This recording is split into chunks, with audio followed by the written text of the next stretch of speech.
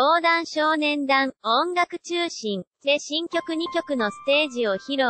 神話 &NCT ドリームもカムバック写真。イコール MBC、小、音楽中心、放送画面キャプチャー防弾少年団がカムバックステージを披露した。10日午後に韓国で放送された MBC、小、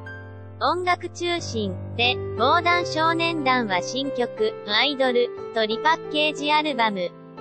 Love Yourself ゆい、アンサーの収録曲、I'm Fine のステージを披露した。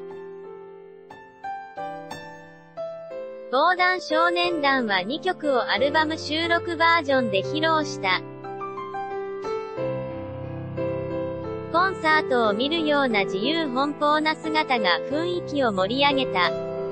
この日の音楽中心には神話、シンファ、防弾少年団、インフィニティウヒヨン、NCT ドリーム、G、IDLE、パクジ、イン、100%、ノラジョ、MXM、DIA、インパクト、SFQ、今月の少女、ルーナ、ロシー、ネイチャーらが出演した。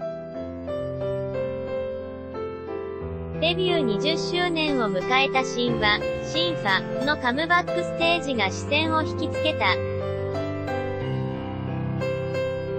神話はこの日、防弾少年団に続き、エンディングを飾った。新曲、Kiss Me Like That は二人の男女のスリルあふれる雰囲気を盛り込んだ歌詞と、アコースティックな雰囲気の演奏が調和をなしたダンス曲だ。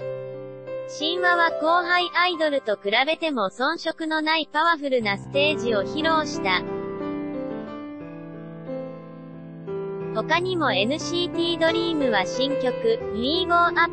と1、2、3で一風変わった雰囲気のステージを披露し、カムバックステージを飾った。